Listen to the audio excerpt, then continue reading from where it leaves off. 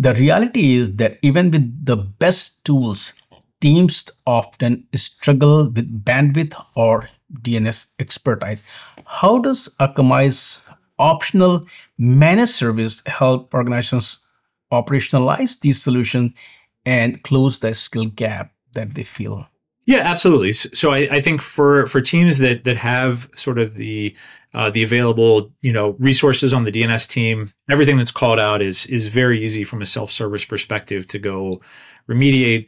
I, I, think one of the trends that we've seen uh, for for uh, a lot of security teams is they have more uh, alerts or requests, uh, risks that are being called out than the security team has hours in the day in the day to go remediate. So you know, as part of our uh, existing business, we help customers uh, with application security, right? If if there's a policy update required for a new zero day, we we participate in in sort of those uh, configuration level exercises. If there's an attack, a DDoS, you know, we have a SOC that helps um, knock down those attacks on behalf of a customer.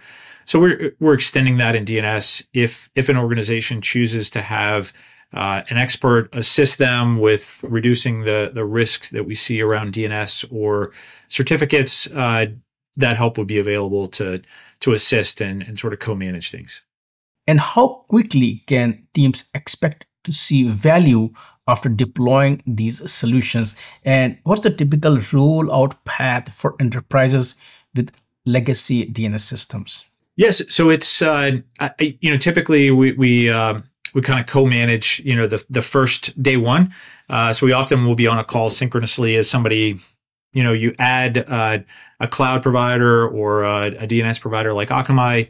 A scan runs, and usually within 10 minutes, we're starting to see the results of the uh, the data being populated. So very easy to start. Uh, I think longer term, you know, internal DNS is is typically a, a phase two. That's that's not quite as easy. Uh, getting at that that that requires a, a, bit more work than than public DNS, uh, but that's often deferred to a a subsequent phase. Uh, but that's how we see it, and then from there, it's it's sort of just like anything else, making sure that the workflow uh, is well integrated into the the organization, the SIEM connections, the other uh, you know workflow connections are in place.